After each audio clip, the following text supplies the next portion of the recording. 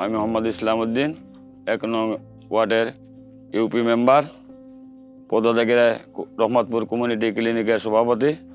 আমাদের রহমতপুর কমিউনিটি ক্লিনিকে আগে বাথরুম ছিল একটা মাত্র। টাইস টুস কিছু ছিল না ট্যাপ ছিল না। আরেকটা বাথরুম আইডিয়ার পক্ষ থেকে তারা যখন কাজ শুরু করলেন, একটা বাথরুম করে দিয়েছেন। একটা রুম বসার জন্য টাইস করে বয়ার জায়গা সহ ওনারা দিয়েছেন।